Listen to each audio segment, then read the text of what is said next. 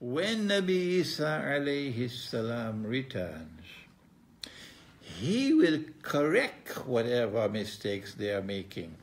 But they have been following the deen of Islam. He doesn't have to give them the deen of Islam for the first time, you dumb dumb. They are already following the deen of Islam, but they were making mistakes. And so when he returns, every single one of them who follows him, I'm not talking about followers of Muhammad alayhi salatu wasalam, because we don't follow Jesus. The Muslims, the followers of the deen of Islam that came with Muhammad alayhi salatu wasalam, we are not followers of Jesus. No.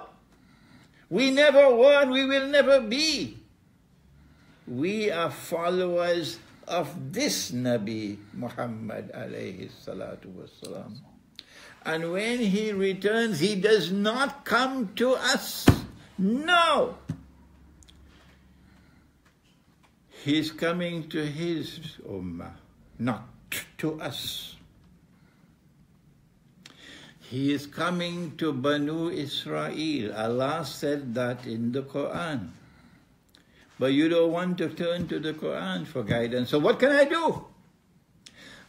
Ya Bani Israel, inni Rasulullahi ilaykum. I am the messenger of Allah to you. Rasulan ila Bani Israel. This is the Quran. And of course, there are two terms synonymous. One is Banu Israel and the other is Ahlul Kitab. Ahlul Kitab. So when Nabi Isa alayhi salam returns, all those of the Ahlul Kitab who follow him, who would not be a people who say that a man can marry another man and get a stinking marriage certificate. No, those are not his followers. When he returns, then he will correct them and declare to them, and they'll accept it, that Muhammad, Allah's blessings be upon him, is a prophet of Allah. And they will all accept it.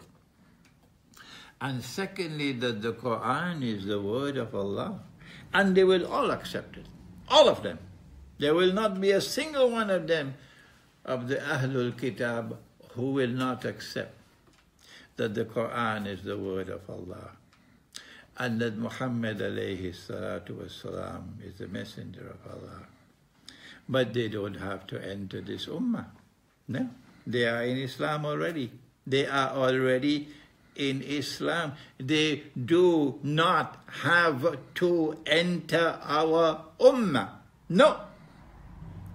So they will follow their Nabi even though they accept Muhammad alayhi salatu wasalam as a messenger of Allah, every single one of them, and they accept the Quran as the word of Allah, every single one of them,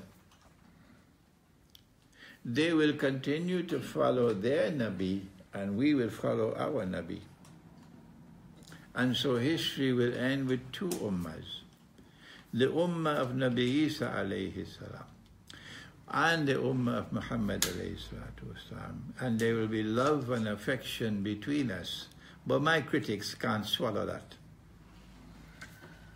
Why would Gog and Magog throw arrows at the sky? Will they be targeting jinns or aliens? Is there a possibility of a jinn or alien invasion prior to this event?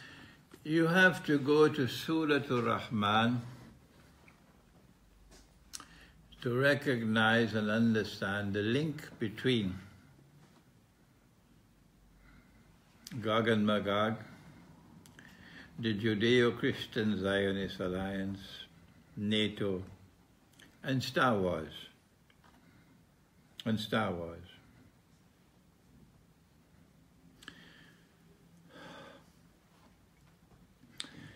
In the must be a hundred thousand lectures I've already delivered on Gog and Magog.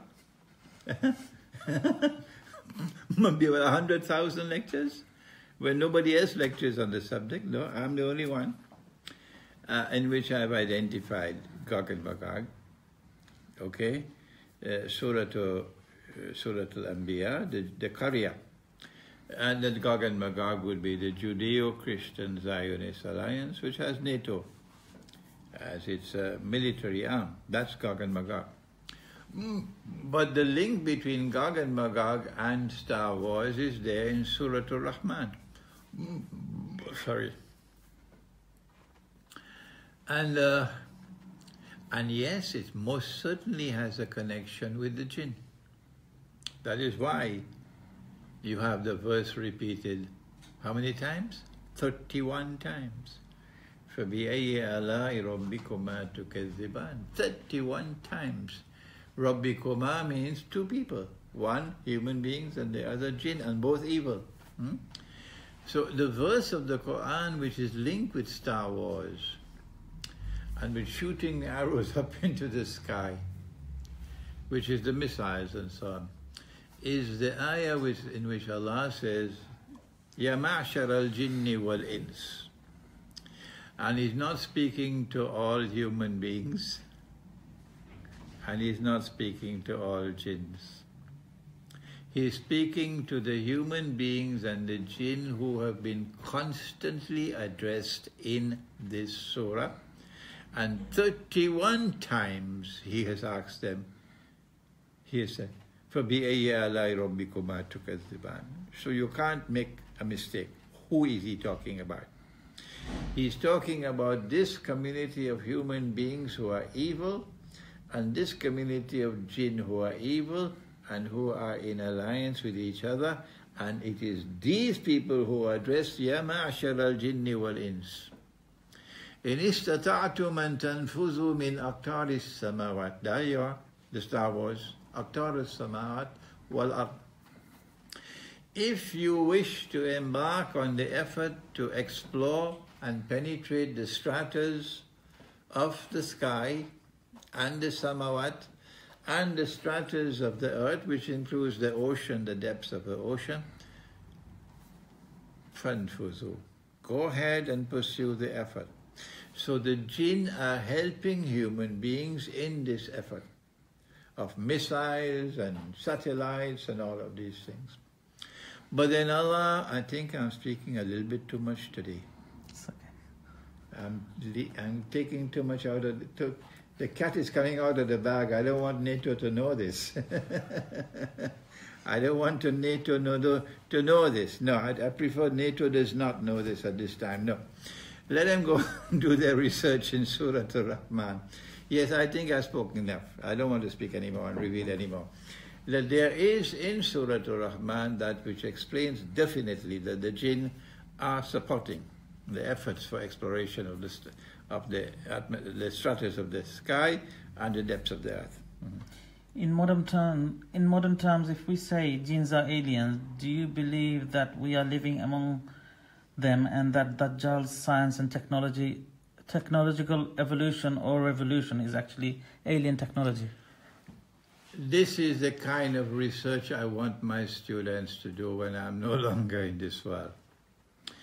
There are scientists and scholars in the Western world who have integrity in them and who have not lost integrity, no.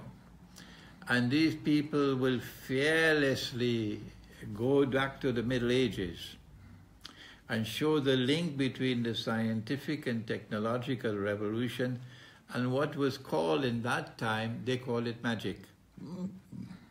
And when they use the word magic at that time, they don't they didn't use the word magic in the sense in which the casual, frivolous way in which we use the word magic today. No.